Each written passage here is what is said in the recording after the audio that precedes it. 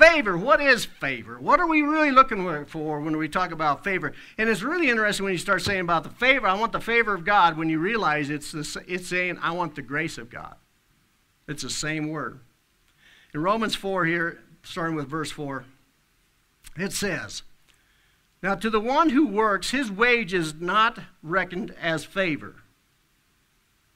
Okay, so when you go to work and you get a paycheck, and you pick up that paycheck, you don't say, oh man, I was favored by the company. Do you? No.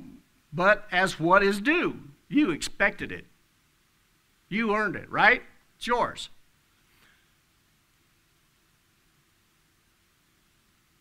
But to the one who does not work, but believes in him who justifies the ungodly, his faith, say his faith, so something's recognized. His faith is reckoned as righteousness. Say righteousness.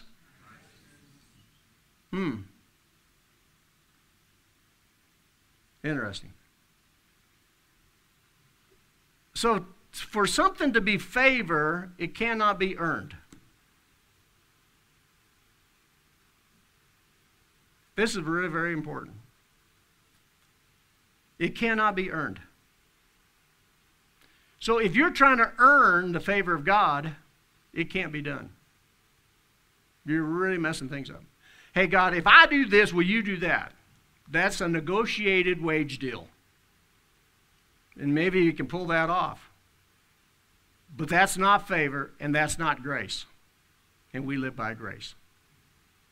And so many people are negotiating with God's kingdom, trying to say, How about if I do this? If I commit my life to you and do it? I mean, so many people make this, especially in their early days. And they don't and, and then things begin to work. And it's only God honoring the fact that they're seeking him, but it's not actually what they think is going on.